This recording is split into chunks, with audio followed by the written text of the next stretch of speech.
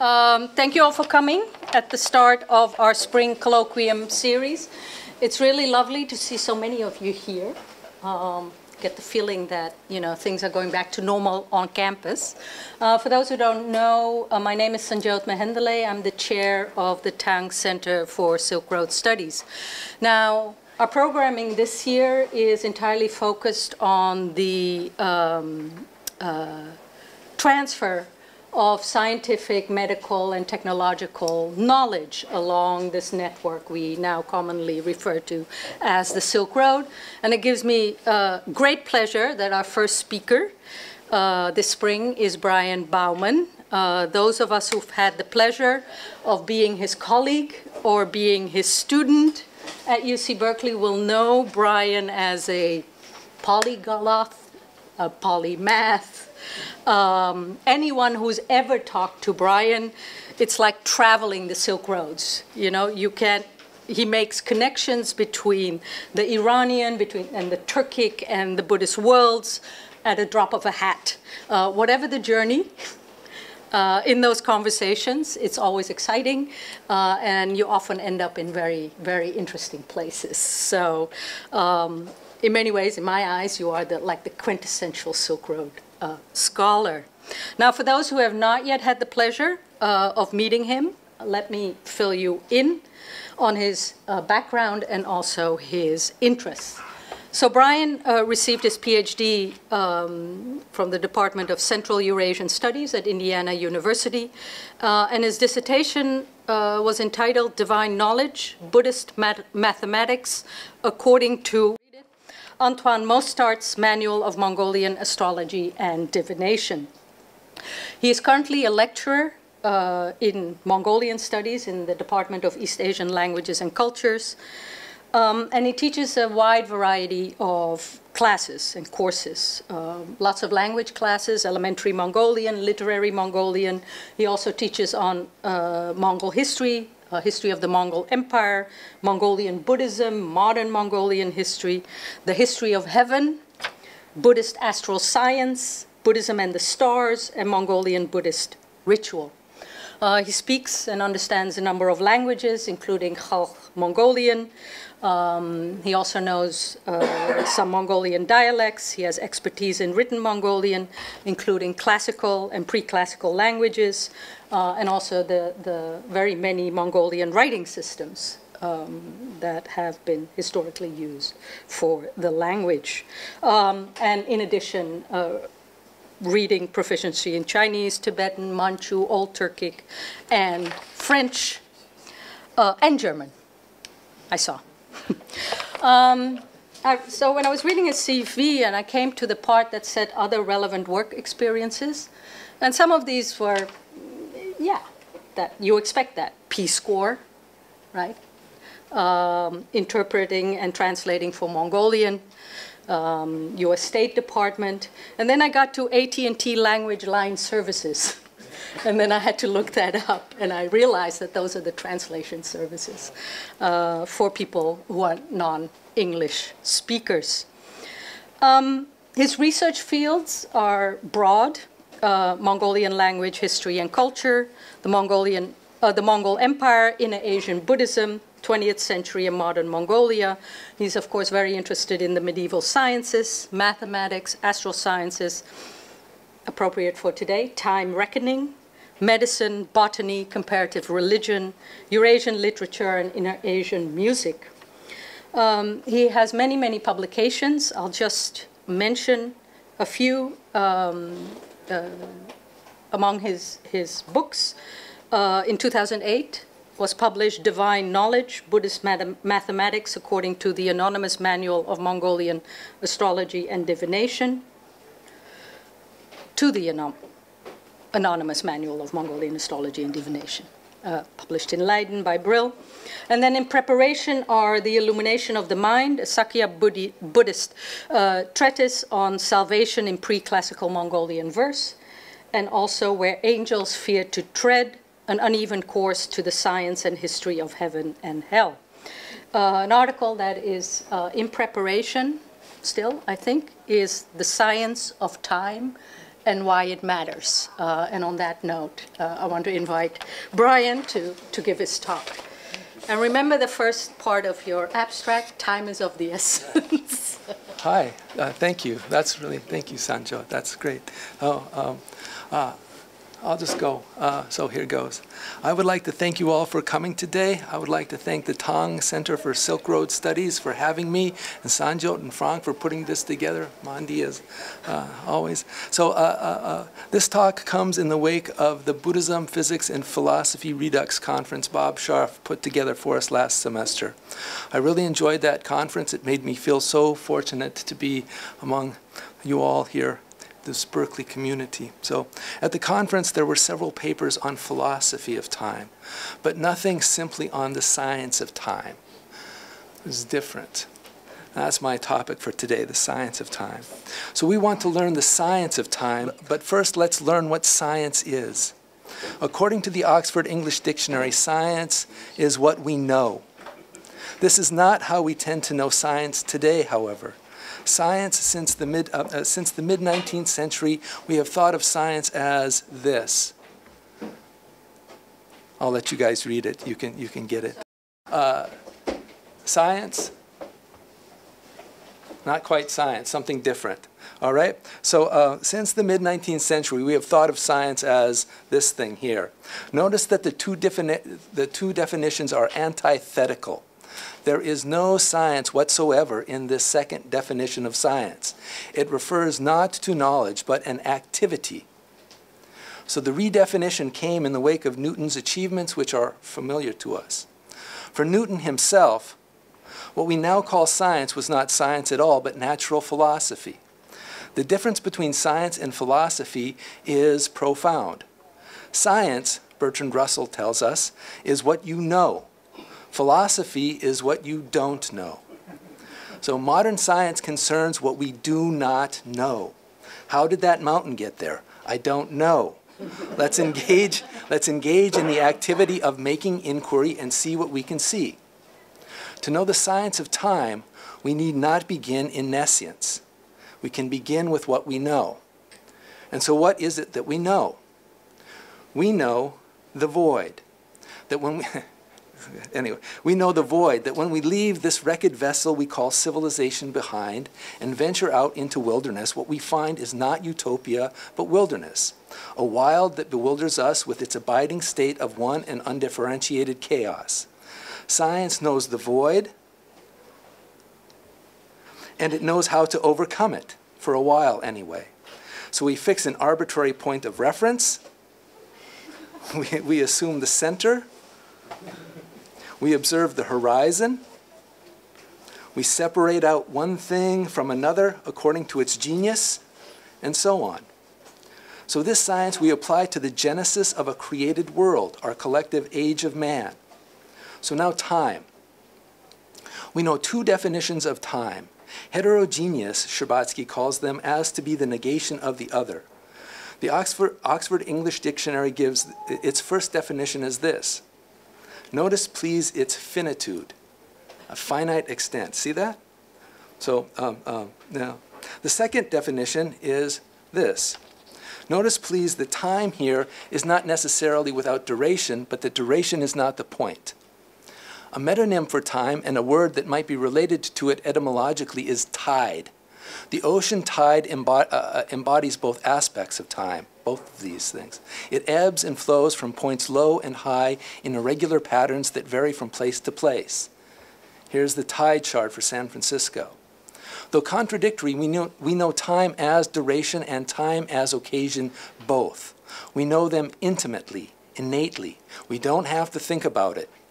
In an old country western song written by Don Gibson, Ray Charles sings, they say that time heals a broken heart, but time has stood still since we've been apart, and you guys can sing the song. So, uh, obviously, though at any time we can easily differentiate time as duration and time as occasion, time cannot mean both duration, duration and occasion at the same time.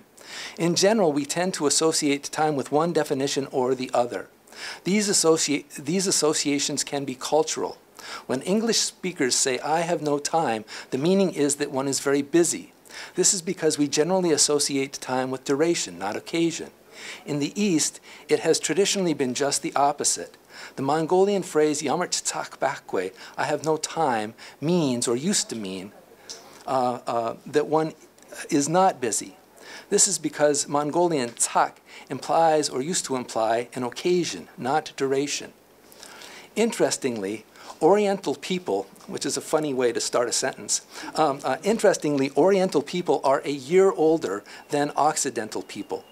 And to ask them why, they say that since the child spends almost one year in the womb, a certain empty year passes before they're born. But the distinction is one of knowing time as occasion instead of duration. So the, contradic the contradictory nature of time is comprehensible when we arrive at a self evident truth about motion and stillness. Motion is absolute, stillness merely relative. Is that cup moving? It's flying through space, isn't it? It's really, really moving. It's, uh, uh, it, it, it's flying through space and every which way but loose. So scholars speak of eight types of motion, but the list is irrational. Our world is a world of flux. Things go around and round, expand and contract, ebb and flow, run and bounce, delve and dive. Time, that is to say, moments of relative stillness, occurs in all of it. Gillian Welch sings, Throw me a rope on the rolling tide. So, time as occasion is stillness in the midst of motion. When you are in time with something, there is stillness between you and the other. When you are out of time, there is motion. We are in time with the earth, so it happens, so it appears still to us. But if we were standing on the moon, we would be in time with the moon and the earth would be moving. All day long, the sun moves across the sky, but at noon, the sun stands still. As the moment breaks, if we perceive ourselves in time with the earth, the sun appears to start moving again. But if we stay in the moment with the sun, then the earth appears to be carrying us away. So, as a phenomenon of perception, time is of the animate. Only the living sense stillness. Who's ever heard of a still death painting? Right? You, there's only a still life painting. So this, uh, uh this inanimate, uh, uh, uh, the inanimate lack uh, sense to know stillness and so exist in a world of constant motion. We infer so paradoxically, uh, uh, uh, we infer so because paradoxically it is the capacity of the animate to sense stillness that allows it to move. The sunflower, which is back here, uh, um, must at some molecular level know stillness, for it can move on its own in time with the sun. Rocks, on the other hand, have no sense of stillness. Theirs must be a world of constant motion, for they can't move. When we die, we are reduced to moving particles that go this way and that until our bodies melt away like snow. So, how we perceive time is something of a mystery. Why do some events seem to take forever and others pass so quickly? Why do our thoughts wander and we daydream? Why do we dream at all? Marcel Proust wrote a long novel on the subject, and much can be said about the perception of time. But here I would like to limit the discussion to but a few points. I understand the perception of time in terms of positing the center. For human beings, the perception of time is not so much relative to a given place or physical location as it is a given metaphysical center, a point. We can posit the center where we will, or the center, as in the case of Proust and his Bite of the Madeleine, goes where it will involuntarily. In either case, our perception of time goes with it. In the eyes of the beholder, the locus of the center can be reflexive. We posit the center with ourselves. Doing so gives us a sense of self, a sense of our own existence, a sense of being present. The present is that time when we are in time with where we are.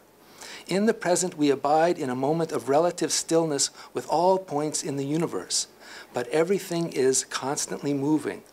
Things that go away from the present exist in the past. Things that will eventually come into the present exist in the future.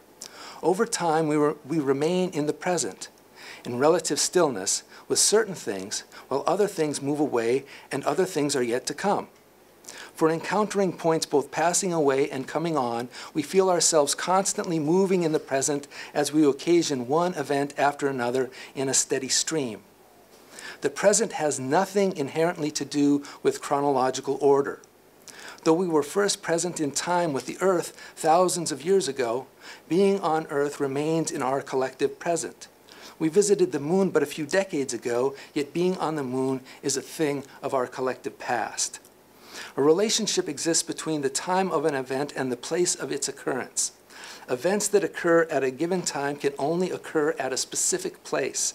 You can't, I don't really like Taylor Swift, but I'm going to, anyway. So you can't see Taylor Swift in California if she's performing in Florida, and you can't see her in December if she's performing in February. We all know that. Uh, if, you know, anyway. In this, the relativity of time is a function not merely of perception but place. The time, uh, uh, the time of an event occurs relative to the observer's point of observation. I have, here's our guy. Uh, Einstein demonstrated unambiguously that time as an event occurs relative to frame of reference. We think of this as Einstein's genius, but he was by no means the first to realize this. He simply moved the understanding of time in physics away from Newtonian philosophy. The relativity of time is scientific, it's a self evident truth. The Greeks knew relativity as the defining quality of logos, which pertains to limited or relative truth. At mid latitudes in the northern hemisphere, the star Procyon, before the dog, the word means that, rises before Sirius, the dog star. Knowing this, in his Guide to World Cartography, Marinus of Tyre waxes relative in informing his readers that from, that from Africa and the, south, and the southern hemisphere, Sirius rises before Procyon does. As a commonplace, the relativity of time was a term of art. Time of the gods meant a transcendent perception of time defined relative to a point of observation located beyond the dome of heaven, an external perspective known as God's eye view. In the time of man, that is, from a point of observation on Earth, it takes 360 sidereal days for a star to return to its original place in the sky. But from God's frame of reference, those 360 revolutions appear as but a single revolution, a single day. The Zoroastrian Vendidad describes it just that way. Yeah. Is with light. In India, the term for what we translate astronomy is Jyotirvidya literally the science of light. I love that. That should be a science here. So the science of light. Thanks to Ole Rømer, we know that light travels at a constant speed, 186,000 miles per second. But even so, thanks to Albert Einstein, we know that the speed of light in a vacuum is constant irrespective of reference frame. The same for all observers regardless of the motion of the light source or of the, uh, of the motion of the observer. If you turn on a light Light does not hit one wall before it hits another, but rather fills the room all at once. People perceive this innately and have always known to use light from celestial bodies to signify when things happen and where things are located on earth. So, to mark the time and place of his surrender, Chief Joseph said, My heart is sick and sad. From where the sun now stands, I fight no more forever. The scientific way to denote what time and place light reflects is through allegory. So the blue dot on your phone signifies your location in real time. The allegorical signification of that dot is the constellation of satellites our techie overlords use to keep track of us. In, in a similar way, when read literally, the nursery rhyme, hey diddle diddle, is nonsense. But read as allegory, it teaches children at mid latitudes of the northern hemisphere the stars of the summer sky. Time is one thing, using light from celestial bodies to tell time through allegory another, and keeping time, that is, keeping temporal order from one occasion to another, is something else again. So for keeping time, we, re we rely on light from the sun.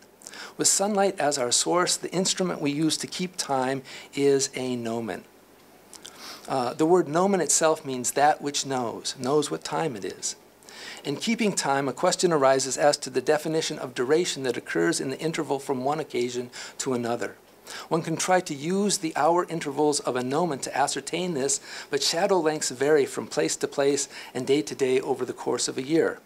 A better way is to use a clock. A clock is a fabricated mechanism designed to move at a constant rate of motion. What defines that constant? Apart from the speed of light, things move constantly, not at a constant rate of, uh, of motion, but every which way but loose. Clocks are calibrated not to any natural rate of motion, but to an abstraction of natural motion, a mean average of some variable rate over a specified period. And I realize that what I have just said is refutable, but uh, we'll table that. So the, in 1967, they, they, time it to cesium, and I will just leave that, all right? So traditionally, clocks were set to a mean average of temporal units over the course of a year. The Indian water clock for instance, is a bowl of such size that given a hole in the bottom, it will fill with water in the, in the period approximating the mean average of all gnomon hour units over the course of the year. That was a mouthful. Anyway, so set as it is to a mean average, the units of a clock hour are, ideally anyway, invariable. For this, a clock hour is different than the variable hours of a gnomon. Against the clock, the duration of gnomon hours changes from hour, hour to hour, day to day, latitude to latitude. The hour defined by a clock does not conform to any hour as defined by a gnomon. It would seem that the two measures are incommensurate. Incommen this incommensurability suggests that the sun and the earth are not in time with each other, that each is moving in its own inimitable way. Uh, so for this incommensurability, it is said that whereas a gnomon defines a true or apparent representation of time, a clock defines a mean or abstract representation. So compare 12 p.m. to solar noon or midday. When is it noon? It's always noon somewhere. When is it 12 p.m.? Every now and then, here and there. Is it 12 p.m. anywhere on the face of the earth right now? No. But it is noon somewhere, right? Zoop. So 12 o'clock is an abstraction. It's not the thing. All right? So um, according to Wikipedia, time in physics is defined by its measurement. Time is what a clock reads. Nothing proves the nescience of physics, and thereby modern science and the totality of modern thought, more than the fallaciousness of this definition. Clocks do not tell time. Allegory tells time. Neither do clocks keep the time of day. A gnomon does. Clocks tell mean time, an abstraction of time. The second, minute, hour, day, month, and year of a clock are one thing, and the periods of sun, moon, planets, and stars something else entirely. They say that even a broken watch is right twice a day, but the same might be said for a perfectly functioning atomic clock as well. Clocks cannot even keep mean time. Clocks are subject to the mechanisms by which they operate and external factors beyond their maker's control. A water clock gives one reading at 32 degrees Celsius and another at 32 degrees Fahrenheit. Clocks move at different rates, give different measures, and quickly fall out of sync. Apart from random chance, none tells the actual time of an external event, as reflected by light. Using clocks to tell time is like herding cats. They just go where they will. All right? So not only do clocks not tell time, they were not designed to. In antiquity, while a gnomon told the time of day, clocks were used to measure duration, usually at night. In ancient Mesopotamia, clocks were used to measure degrees of sidereal motion in the determination of longitude. They were also used to mark the sentinel's beru, a watch in the night lasting 120 minutes duration. Clocks may not tell time, but they do do something. They define rate of motion, velocity, extent, period, distance, very, very accurately. If you set your cruise control to a fixed rate of motion, a clock will tell you uh, uh, uh, uh very accurately the distance you have traveled over a given period. The same results cannot be uh, achieved with a gnomon. Whereas a gnomon tells time perfectly, it gives a very uneven measure of duration. How uneven? This uneven. That's how different the two are. All right? So here we see that the function, uh, uh, the, the, the functions gnomon and clock serve are complementary. The gnomon tells time, time as an occasion. It does so in stillness. It is not designed to measure duration, and when used to do so, does so very imprecisely. Clocks, on the other hand, measure duration. They do so through motion. They are not designed to tell time, and when used to do so, do so very imprecisely. The complementary functions gnomon and clock serve indicate a complementary relationship between time, time as occasion, and duration, duration of time. Both are real phenomena of nature. Uh, uh, uh, uh in, uh, yeah, both are, are, are real phenomena of nature inextricably linked in the relativity of stillness in motion and the constant speed of light, they are nonetheless uh, qualitatively different things. This qualitative difference is apparent at the point of the infinitesimal, the definition of an instant. In Indian time reckoning, the term kshana, instant, denotes two separate things the briefest possible period of duration on the one hand, and the moment without duration on the other. The distinction is seen in considering the time and duration of a flying arrow shot by a marksman in the instant it pierces a leaf. Two of, Z, uh, of Zeno of Elea's paradoxes deal with the problem of time. He draws them to prove in complementary ways that time means momentary stillness. The paradox of the arrow states that a flying arrow is constantly at rest. The paradox of, of, of Achilles and the tortoise states that if time were nothing but motion, Achilles would never catch the tortoise because the moment he arrived at the place the tortoise had just been, the tortoise, the tortoise would be gone. The absurdity uh, to these paradoxes demonstrates the limits to logic. Logic gives that things are either still or moving but cannot be both at, at, at once. But the relativity of time defies this. Logic, for its own sake, yields results that in reality are untrue that we know either everything or nothing, that nature is abjectly void or immutably ordered, that the world is subjective or objective, and so on. Still, logic is not without utility. It solves problems of contradiction in space and time and can, and can be helpful with the question of constancy. Logic affirms that if a constant period between successive events did exist, then temporal regularity would be absolute. Time would be only of duration and not occasion, only of motion and not of stillness. Nature would hold its own immutable order. The void would be non existent. Nothing would ever change. Things would always be the same. We would not live and die, we'd be alive or we'd be dead forever. So eternity and everlastingness are apotheoses of time. For one whom time means only duration and not occasion, the eternal and everlasting are conflated. Scientifically, however, a distinction exists between them, whereof eternity is of the occasion, stillness, everlastingness, duration, motion. Eternity means without beginning or end. To know an eternal moment, think of midnight. All day long, the sun has been moving through the sky. Time has been moving in the present away from the past and towards the future. But at this one particular moment, as it did at noon, the sun sta stands still, now in the pit of hell. And with it, time. In a definition of the day by midnight, at midnight, past, present, and future come together in a single moment that is at once yesterday, today, and tomorrow. At midnight, not only does time stand still, it has no beginning and no end. Midnight is an eternal moment. So, this eternal nature to midnight we might perceive at any moment, though we tend to see time in mundane terms of duration instead. This distinction between uh, eternity and everlastingness was known. In ancient Egypt, light is eternal, darkness everlasting. In Hermopolitan cosmogony, Shu, God of yesterday, is eternal, and Tefnut, God of tomorrow, everlasting. Represented as twin lions, the trope disseminated widely through Chinese influence all the way to Durant Hall over there. So, so for Egyptians, the sun, sun god, Amun Re, is the, the Lord of eternity who made everlastingness. Its symbol, the Ankh, a circle representing everlastingness emanating from the crux of a cross representing eternity, signified everlasting life for its bearer, Pharaoh, and the Egyptian world order. In history, a peculiar notion of everlastingness emerged in the concept of infinite duration or boundless time.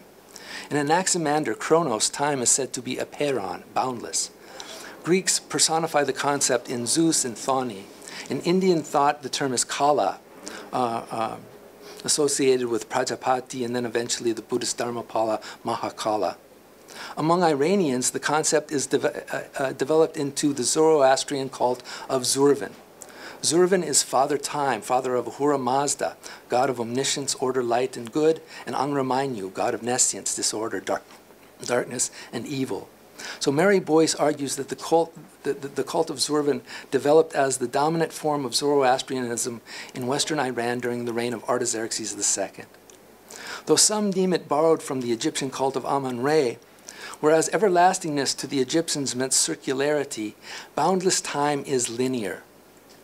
In Zurvanism, time means the three times past, present, and future. The past being a time of an original cosmic separation of good and evil, the present a limited time when good and evil are mixed, and the future a time of perfect goodness, boundless time, and infinite light when death is overcome and the kingdom of God established on earth. Does that sound familiar to to anyone. Yeah. So um, uh, boundless time is a seminal concept of the soteriological movement and common to all soteriological traditions of the Aramaic ecumene. Several de deities, Greek Zeus, Hebrew Yahweh, Buddhist Amitabha, uh, all related to Zoroastrian Ahura Mazda, Jupiter, came to personify everlastingness. Of the Hebrew Yahweh, Psalm 102 says, uh, I'll let you read it. All right? The heavens, they wear out. But this thing that's everlasting changes them. His years have no end, it doesn't change. What an idea. That's an idea. So Yahweh tells us himself that what is everlasting in the world, this world, is not the void. What is everlasting in these faiths is eternal light. So light here is both eternal of the occasion, stillness, and of duration, motion. So, though it conflates occasion and duration, faith in boundless time is not unjustified. For as John says, light shines in darkness, darkness hasn't overcome it yet, so hang in there. so, but note the empirical difference between eternity and everlastingness despite political, political propaganda to the contrary, whereas any event might be eternal, nothing save the void is everlasting. Death is eternal. Everlasting life is a contradiction in terms. Lewis Carroll proved this point with a riddle. You know the riddle, right? Uh, an egg on a wall sits over time's duration in an imperfect state. We might think of it as being still, but it is ever moving, ever changing. Its sitting there will not last forever. But the breaking of the egg occurs in the stillness of an eternal moment in time. It will never come again.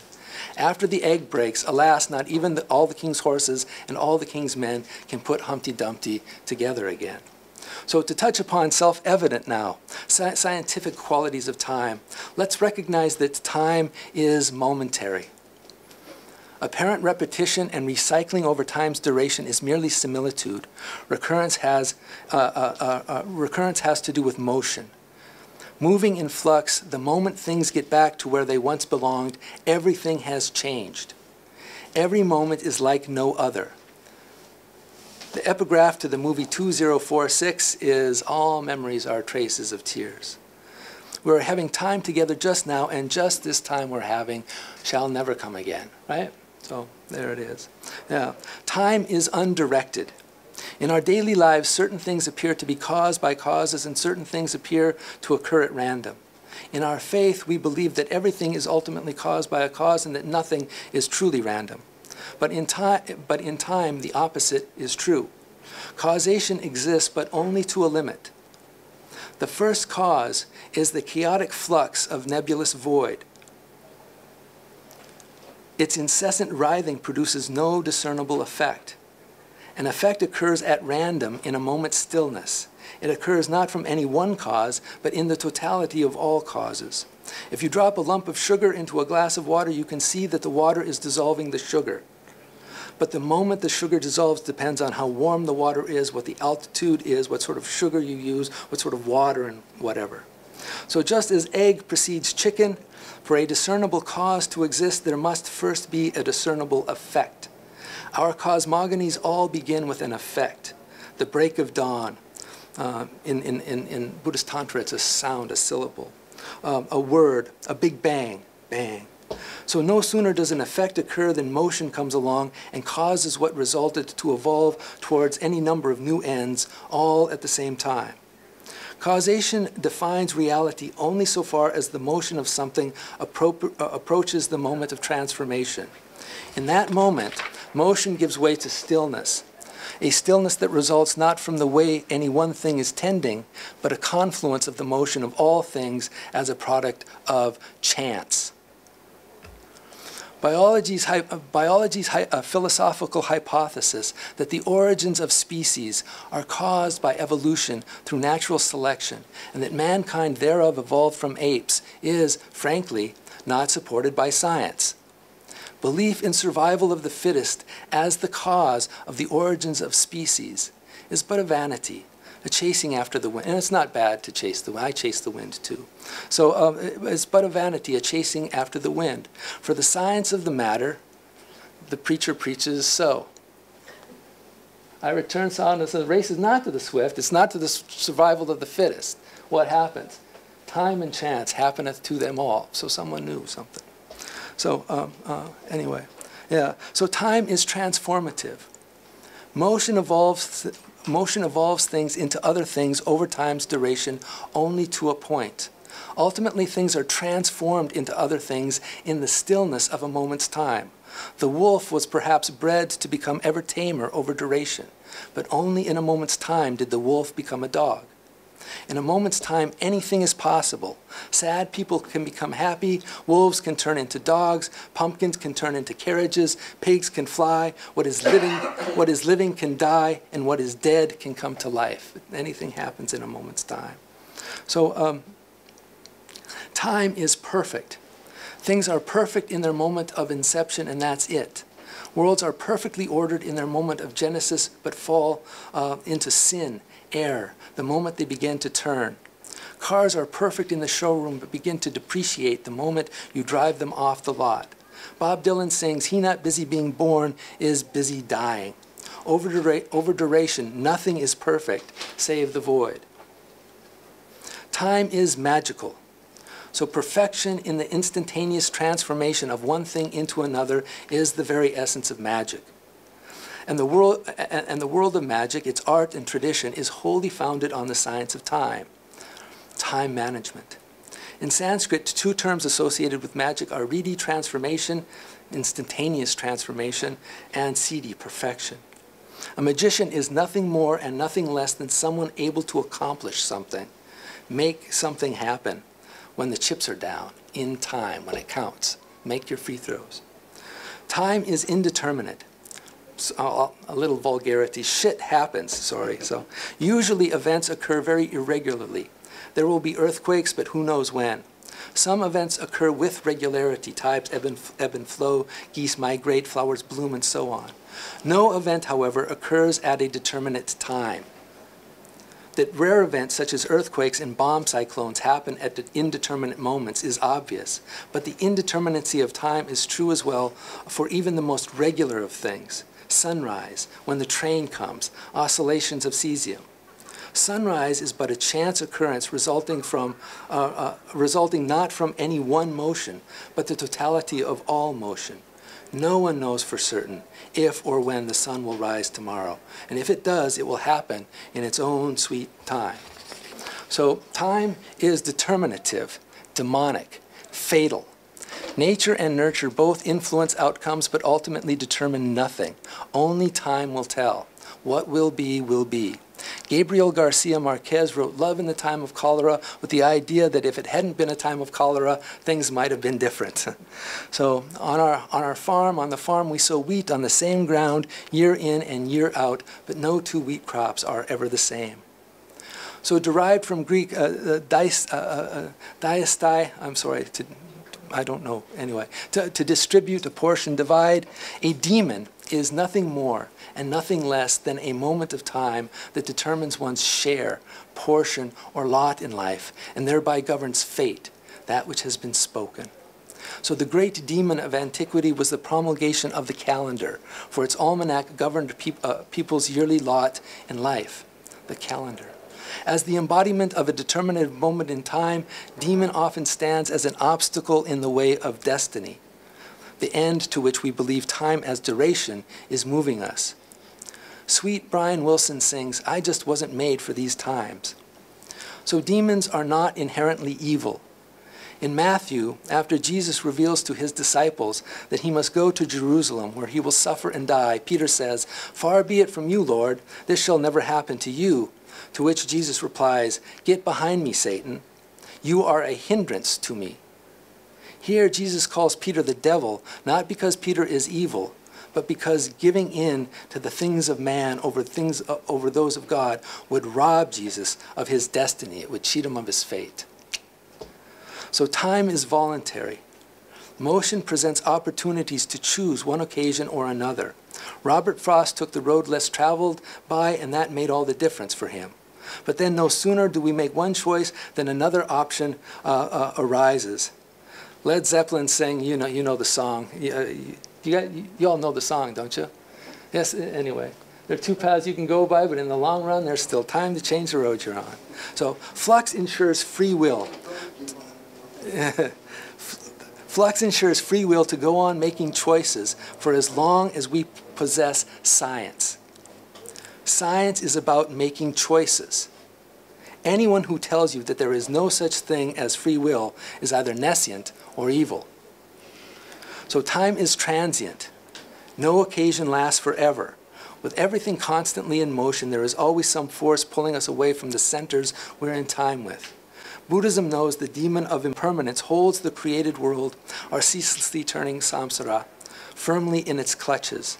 Sandy Denny uh, knew time's fleeting nature too. Do you guys know this song? Who knows where the time goes? It's a nice song, yeah. So, um, anyway, time is creative.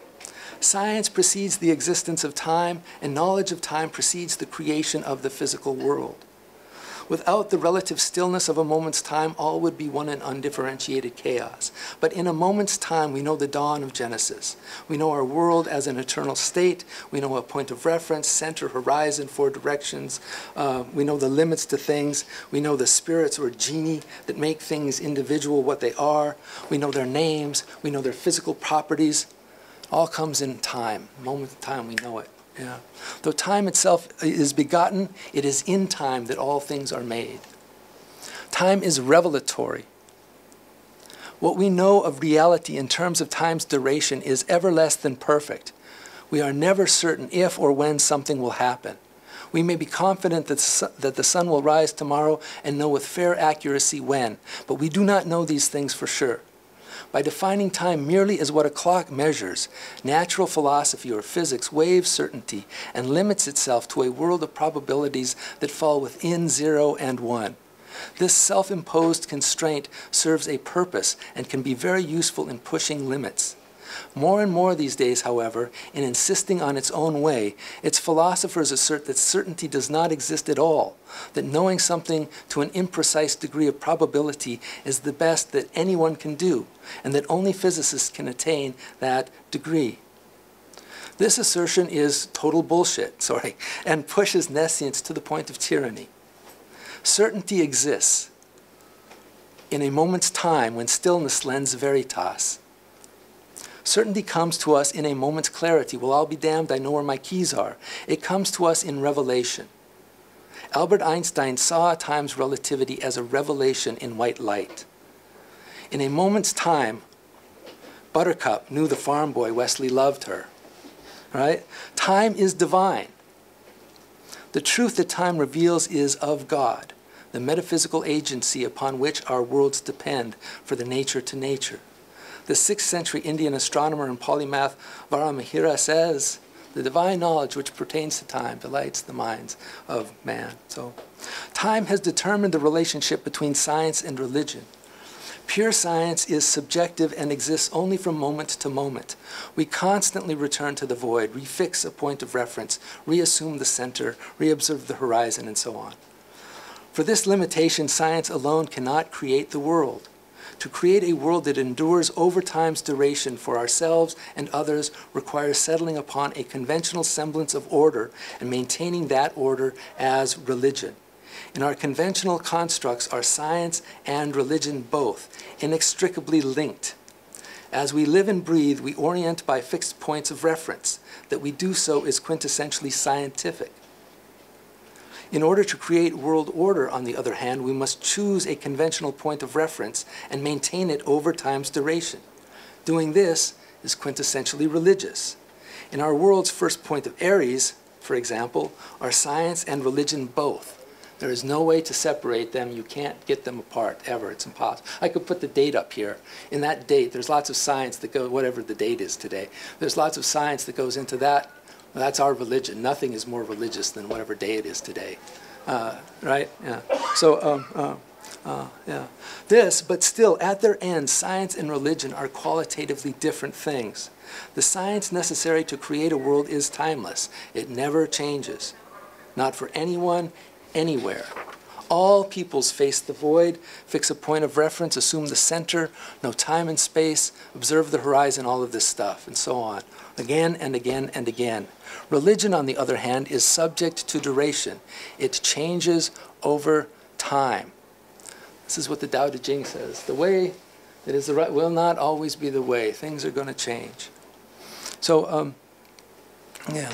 How obviously true this is, right? It's just true and yet how antithetical to modern philosophy. So anyway, for flux, temporal order does not exist in absolute objective terms, but rather has to be made. Methods of time reckoning are known through science and maintained in religion, but created as art. In Enuma Elish, upon slaying the chaos dragon, dragon Tiamat, Marduk uh, does artful works to create the cosmos. There is no one right way to regulate time. This is a Mongolian Buddhist manual. The Kalachakras is one way, all, these different things. Yeah. Uh, in reckoning with the motions of the sun, moon, and stars, uh, let's see. Uh, yeah. Uh, in reckoning with the motions of the sun, moon, and stars, the calendar maker seeks a moment that defines a multiple in days of both the month and the year. Unfortunately, no such moment has ever been found. The day itself is a mutable construct uh, uh, that can be defined in any number of discrete ways. Buddhist astronomers know three kinds of day. The longest day is the zodiac or sidereal day, the time it takes the sun to progress one out of 360 degrees of the zodiac. There are 360 days, uh, such days in the year. The second kind of day is the doin, the solar, natural day. 365 something or whatever, and then the lunar day. Our world is founded on a fabrication, the fabrication of a firmament. From a conventionally chosen center, we erect imaginary colures that sync the four directions with the four seasons relative to a conventionally chosen prime meridian. This convention stops the world from turning by turning heaven into a solid state. The act was oft likened to the fettering of chaos in a net. Enuma Elish says, I'm going to bind you in a net. Uh, says basically the same thing. Straight of the four binding cords when they create order. So fabrication of this cosmic net creates a matrix, a womb to protect us from the void. Reticulated with meridians and parallels likened to the warp and weft threads of a woven gar garment, it becomes a celestial canopy emblazoned with stars. Now, the stars affixed to this canopy are not as fixed as they might seem. People said that in times of calamity, even the stars lose their way. Numbers, however, do not. Beginning in ancient Mesopotamia, astronomers came to define the terms of the celestial canopy through numerical abstraction. In scientific terms, whereas chaotic motion is everlasting, time as measured duration is by definition a limited time, a certain period that extends only from one, uh, one uh, event to another.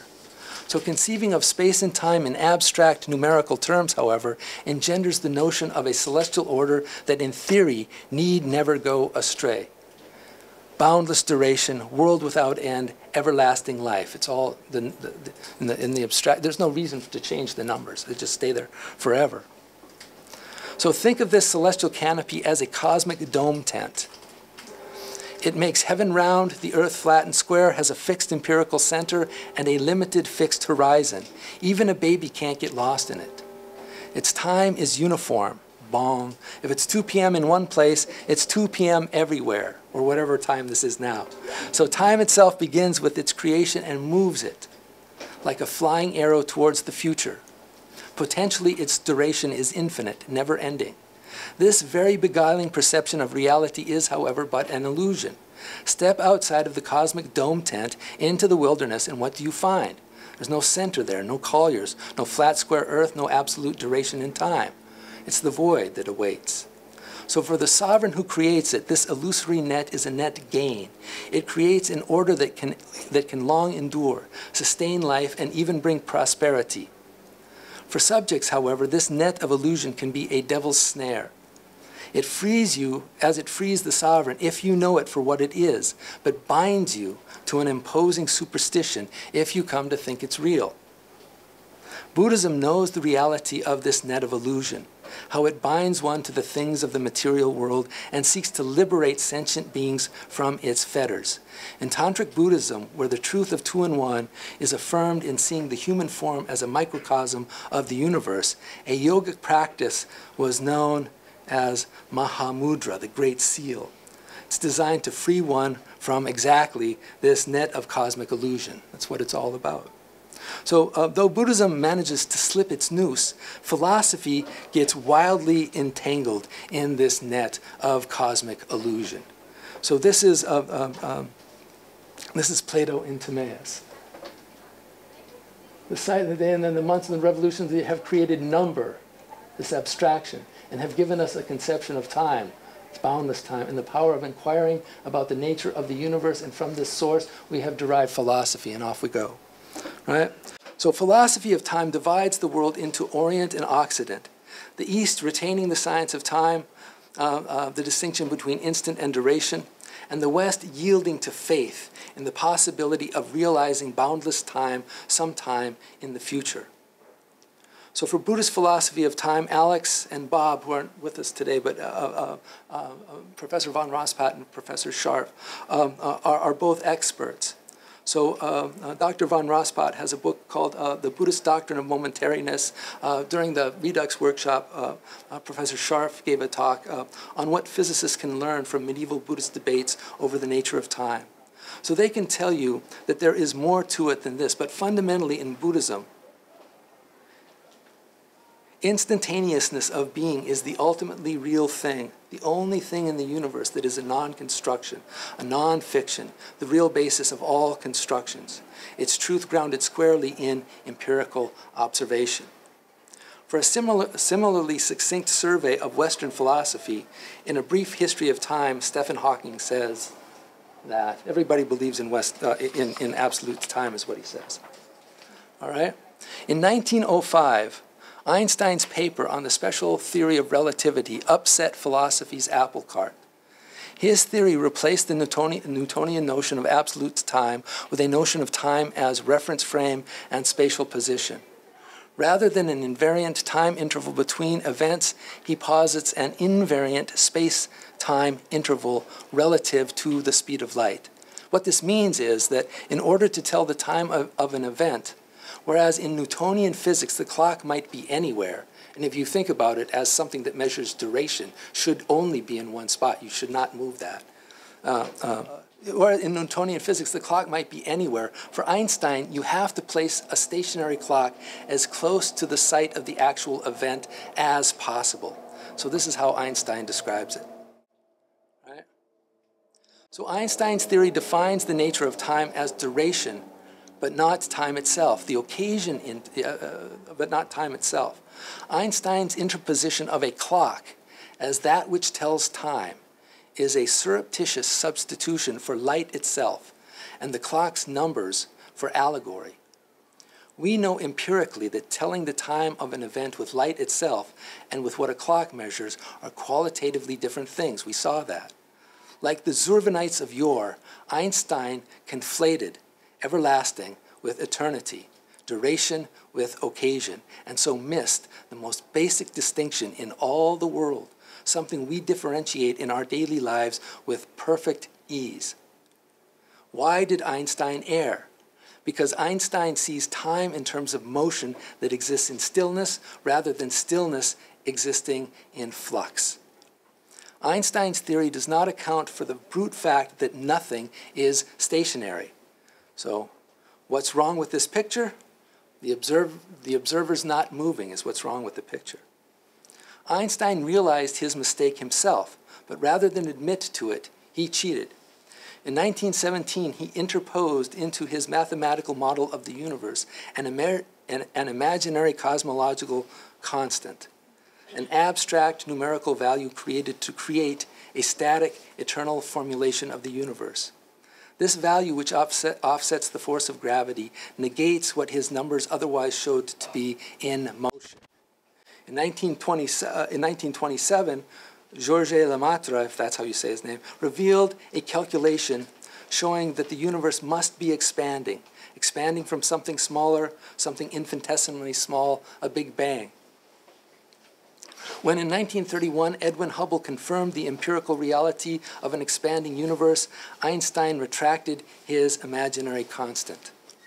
In 1927, the other shoe dropped when Werner Heisenberg published his uncertainty principle. Using subatomic particles and our fantastic ability to measure distance and velocity, he showed the futility of clocks to accurately determine the position of bodies moving at a given velocity. His principle gives that the position and the momentum of an object cannot both be measured exactly at the same time, even in theory. When the position of an object is known with certainty, its momentum is entirely uncertain, and vice versa. For me, Heisenberg's uncertainty principle was a breakthrough for us. It does what philosophy is supposed to do. It explains through inquiry what we know to be true through cognition, through science. Heisenberg saw by measuring subatomic particles what the calendar maker sees using a gnomon to observe the sun. When we know where something is, it's not moving, it's still.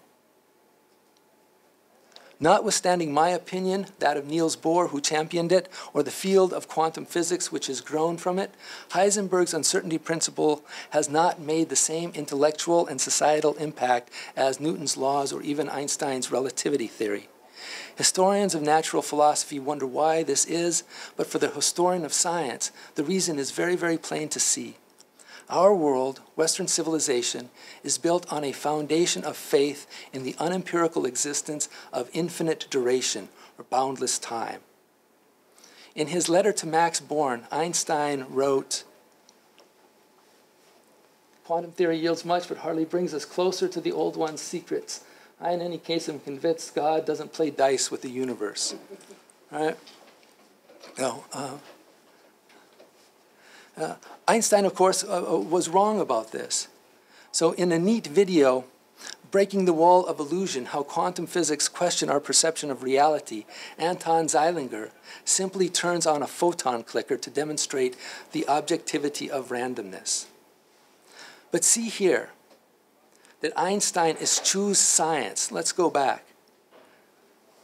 Einstein eschews science for faith in something unempirical an immutable order in nature yet unrealized. Whether he intended them so or not, Einstein's words, God does not play dice, have been taken politically to justify the rejection of science in our world. For these politics, Einstein's words have furthered modernity's ill fated attempt to circumscribe all reality under the purview of natural philosophy. We as individuals know the science of time. We don't have to bat an eye to distinguish occasion and duration. Our governments, in making our calendars, know the science of time. Our engineers and horologists know time. But dogma of the dominant religion of our time makes no allowance for the science of time at all. Joni Mitchell uh, sings uh, uh, something's lost, something's gained in living every day. Ignoring the science of time comes with certain benefits. The magic of our clocks brings us iPhones, drones, self driving cars, robots. It enables us to hit an asteroid with a dart. But at what cost? Ignorance of time traps physicists in Zeno's paradox, building better and better clocks to bring our ability to measure rate of motion nearer and nearer to the point of stillness so that we might one day catch a tortoise. Conflate, and this is important, conflating duration with occasion creates socio political mud. Do we really want to live forever, but as a machine? You want that? Uh, uh, uh, uh, or do we really want a machine to speak for us? If we knew what time was, if we knew what time was, we wouldn't think to think in these very muddled terms. Ignorance of time has blinded us to cause and effect. Interpreting data shows us the path uh, we happen to be traveling at the moment, but reveals absolutely nothing about what is going to happen and where we'll be in time. If we knew what time was, we'd think twice about limiting our knowledge to mere facts. Ignorance of time encloses our humanity in an ever shrinking bubble. It makes anyone who does not cotton to our religion some holy, monstrous other. It obliviates our past. Wherein lies the science of humanity, if not in the humanities? But who remembers that? The science of humanity is predicated on the science of time. Scripture, literature, and art are steeped in allegory of the celestial phenomena people used to tell time. If we think that second, minute, hour, day, month, and year are defined by oscillations of cesium and not the movements of sun, moon, planets, and stars, how on earth can we possibly interpret the science of art? It's impossible. the first law of hermeneutics is the unicorn lion law. It states that if you see a unicorn and a lion together in a text and assume that the lion is a real lion and the unicorn something totally imaginary, guess again. For Eurasian peoples at mid latitudes in the northern hemisphere, the lion kills the unicorn is an allegorical trope of seasonal opposition, with the unicorn, the Pleiades, horn of Taurus, sign of the equinoxes, and Regulus, metonym for Leo the lion, sign of the solstices. So I leave you with a passage from Job. My days are swifter than a runner. They flee by and see no good. They sweep by as a skiff of papyrus, an eagle swooping on its prey. So we know the text is supposed to be depressing because Job was famously depressed. but if we take its meaning at face value, what's so depressing about it? A reed boat floating along a river is a beautiful image. An eagle swooping on the prey isn't all that depressing either, unless you happen to be eagle prey, right? Hebrew poetry is famous for forms of repetition that hone meaning to a point. Is there a point being honed to here, or does the passage blow off into the wind like chicken feathers? Oh. It's when we read the passage allegorically that science brings its meaning home. The day of Job is the common day, the solar day. My day is swifter than a runner. The runner is a constellation of among the fixed stars, Perseus. In the relativity of time, Job's solar day is approximately four minutes faster than the sidereal day of Perseus. Why do Job's days see no good? Because the skiff of papyrus sweeping by is a metonym of sovereign power the science of the sun traversing the ecliptic in the religion of potentates who use it to govern time on earth and thereby subjugate the likes of Job under timely obligations that can be onerous. That his day is like an eagle swooping on its prey only hones the meaning to a fine point. The book of Job is thought to have been written in the 5th, 4th century BC during the, during the Persian Empire. At this time, Cyrus the Great and the Persians had turned the royal falcon of the Egyptians into a swooping eagle and made it the symbol of their military power. It's also Ahura Mazda and, and the, the royal falcon and all of that. The passage tells us that Job was oppressed by his overlord's manipulation of time. Living under an oppressive government, time was dolorous and harrowing for him. There was absolutely nothing he could do about it. And that's depressing. So, we who are citizens of so called free nations are sovereign by right. But so long as we re- remain ignorant of the science of time, those who would seek to oppress us will continue to use time to subjugate us as time was used to subjugate Job. Time is of the essence to everything that we hold dear, and the time for its redemption is now. That's my little talk. So, such as it is. All right. So,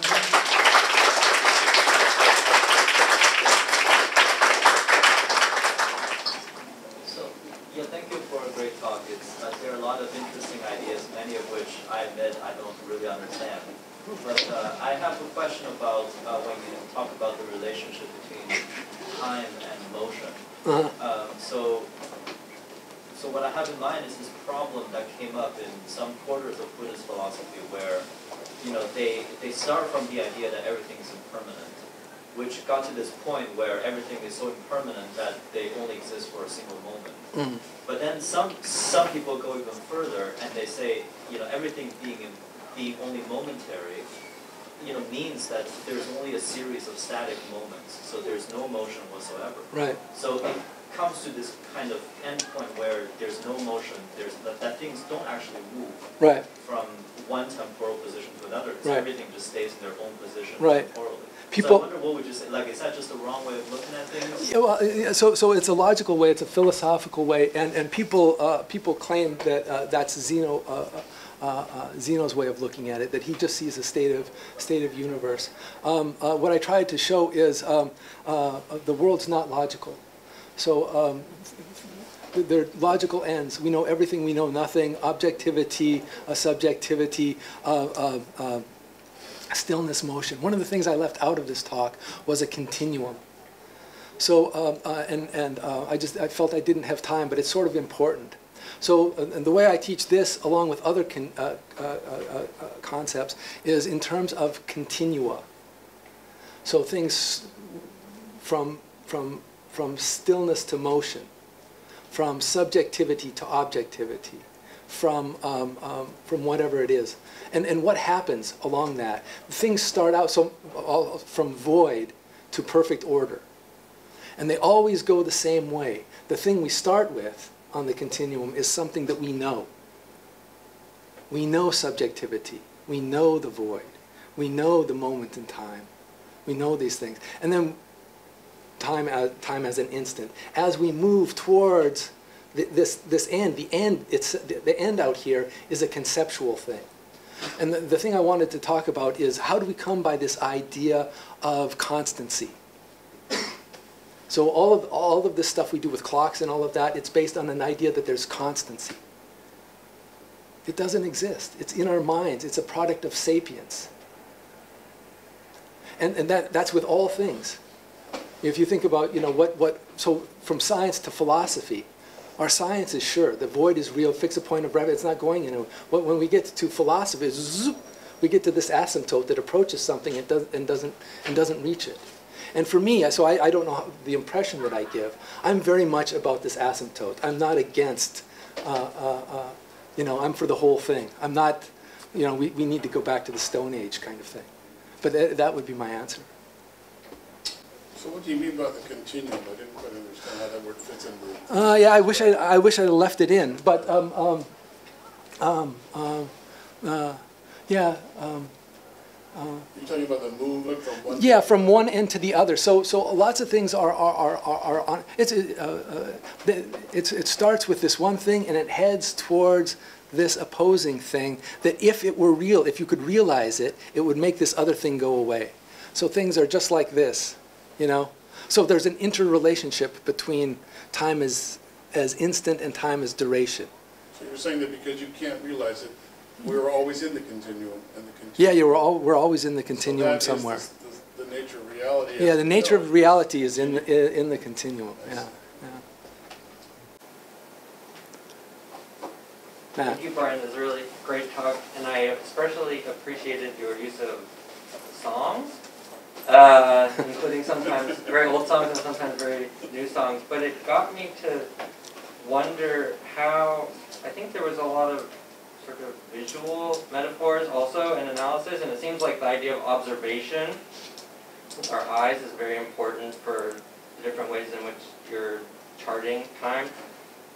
But thinking about songs and rhythm and rhyme, I wonder how that might fit into your sort of what kind of time is it that we feel when when something rhymes, when a song rhymes?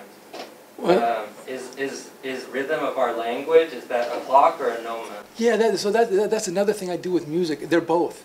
You have to have both. So things are in time, over time. I, I, I, I- I don't have time to do it here, but, but, but, Another but time. another time. But music is exactly that, where you want to be in time, over time. And you think about like when you get out of sync, right? Or, or the pitches, you know, you know, you're out of time. Yeah, a, and, and there's another, you, you talked about sight. So if you, you, you don't have to do it in sight, in, in terms of sight.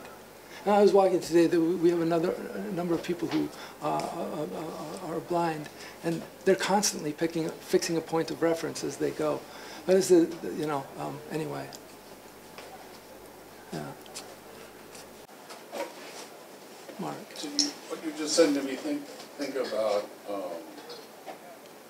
harmony and disharmony Yeah. musically, and how disharmony, when you hear disharmony, if a musician's performing and plays a chord that's not in the harmonic structure of the song, as you have heard it, Yeah, you're waiting for the resolution. right, So the disharmony pushes you in a certain direction. right, And you're like reaching out to demand right, the harmonic resolution. exactly. And I wonder if this, these disjointed points on the continuum work in the same way. In other words, the sun goes down, and we're kind of, excuse me, fucked up until the sun comes up again. Yeah, It- And that may be a big cause of dukkha and anxiety, because we sort of can't, the, the unpredictable nature, predictably unpredictable nature of things yeah. creates this inevitable anxiety where we're looking for the chord, the harmonic chord again. Let's get, Right. yeah. You see what I'm saying? Does Yeah, I, I see, and uh, in, in, in- uh, in our, uh, the pro seminar, we were talking about figura and, and things like that. It, you're, you're, you're, you're manipulating time when you, when you use that disharmony, dis, uh, uh, discord to try to come to re- some resolution, if you do or not. You know, but they've got you.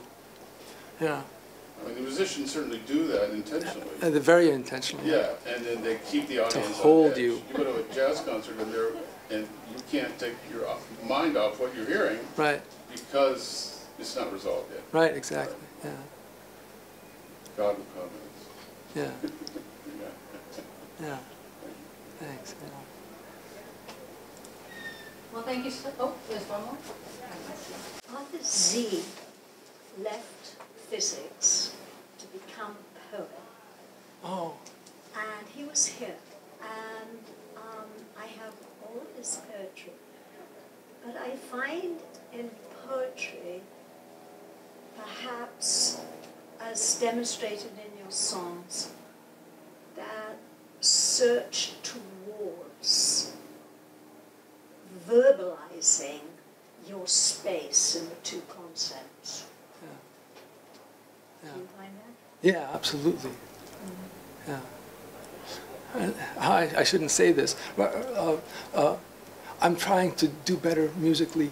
Uh, so I, I have a caveman sense of, of music, and, and so uh, uh, I really want, and all people around me are so, Mark is very good with, with jazz. Uh, I, know, I know a lot of country music, three chords and a cloud of dust. But, but the, the lyrics to those things are nice. That, uh, old Don Gibson knew a lot about the nature of time, and they go back and forth. They say that time heals a broken heart. Time has stood still since we've been apart. And that Sandy Denny song, Who Knows Where the Time Goes, how perfect that is. This is beautiful understanding. I think the interaction exists in the poem, in the mind of the poet. And, and the ability to express it. Right. That, that it exists, and, and they talk about, oh, it means anything, and it doesn't. It's, it, that's in the mind of the poet, and that's the thing that they're moving you with, they want to express. Yeah, exactly. Yeah, It was very nice talk, thank you. thank you very much, yeah. I have a couple questions about uh, like the implication of all this reflection on our writing history. Like in our department, most of our training are like historical change. And when we write history, we kind of operate on this conventional sense of time. Yeah. Um, so now there's all this very cutting edge reflection of time. Does that like have any implication on how we write history? How we write history. Yeah. Like, yeah, when we write history. I, no, I, I, I- see the question. it's an evolution No, I see the time. que, no, I see the question, yeah, yeah, because I teach courses in history, so I should be able to go into that, go into history teaching mode. Yeah, so, so, so, so, and that's the thing. So, it's, what, what I'm, how, how can I say this? Faith is a very good thing. I'm a faith-based person. I, you know, somewhere over the rainbow, uh, bluebirds fly, uh, and, and all of that. But uh, uh, uh, if, I I shouldn't do this, but um, uh, Jesus said, uh, man can't live by faith alone. You have to, uh, no, he didn't say that. I say that. Jesus, Jesus, said, Jesus said, man can't live by bread alone.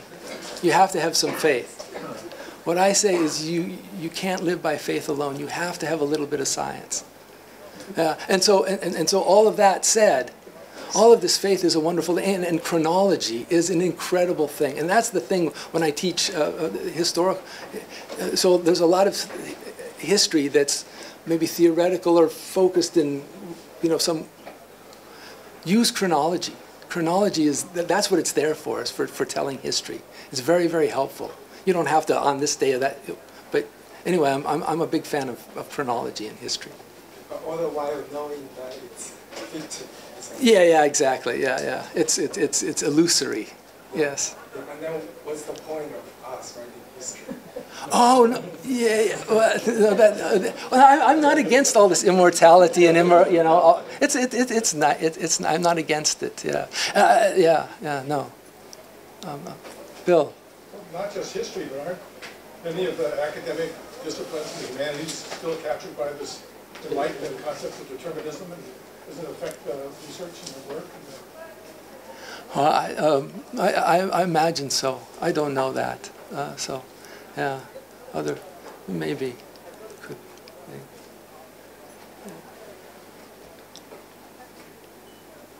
All right, well, thank you so much, Brian.